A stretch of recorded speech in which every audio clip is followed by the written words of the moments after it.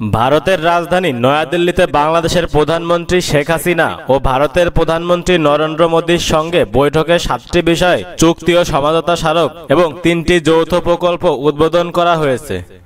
শনিবার দুপুরে নয়াদিল্লির হায়দ্রাবাদ হাউসে বৈঠকে বসেন এই দুই দেশের প্রধানমন্ত্রী।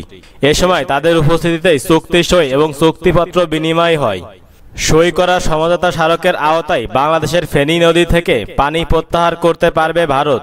এই পানি তারা ত্রিপুরা রাজ্যের সাবরুম শহরে বিশুদ্ধ পানি সরবরাহের প্রকল্পে ব্যবহার করবে। চট্টগ্রাম ও মোংলা সমুদ্র বন্দর দিয়ে ভারতীয় পণ্য পরিবহনের বিষয়টি একটি স্ট্যান্ডার্ড অপারেটিং প্রসিকিউটার সই হয়েছে। বাংলাদেশকে দেয়া ভারতের ঋণের প্রকল্প বাস্তবায়নে একটি চুক্তি সই হয়েছে। এছাড়া ঢাকা বিশ্ববিদ্যালয়ের সঙ্গে ইউনিভার্সিটি অব হায়দ্রাবাদের মধ্যে সমঝোতা স্মারক সই হয়েছে। এরপর প্রধানমন্ত্রী শেখ হাসিনা ও ভারতের প্রধানমন্ত্রী নরেন্দ্র মোদী যৌথভাবে তিনটি প্রকল্প উদ্বোধন করেন। এগুলো হলো Khulna institution of diploma engineering, Bangladesh Bharat professional skill development institute, Dhaka Ramakrishna মিশনে বিবেকানন্দ ভবন এবং বাংলাদেশের থেকে ত্রিপুরার এলপিজি আমদানি প্রকল্প। এর আগে প্রধানমন্ত্রী শেখ হাসিনা নয়াদিল্লির হায়দ্রাবাদ হাউসে পৌঁছালে ভারতের প্রধানমন্ত্রী নরেন্দ্র মোদী তাকে অভ্যর্থনা জানান।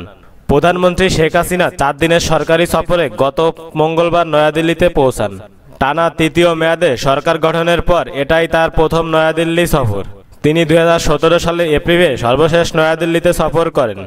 এদিকে বিকেলে ভারতের রাষ্ট্রপতি রামনাথ কেবিনের সঙ্গে প্রধানমন্ত্রী শেখ হাসিনার সৌজন্য সাক্ষাতের কথা রয়েছে। আগামীকাল রোববার প্রধানমন্ত্রী দেশে ফিরবেন বলে আশা করা যাচ্ছে।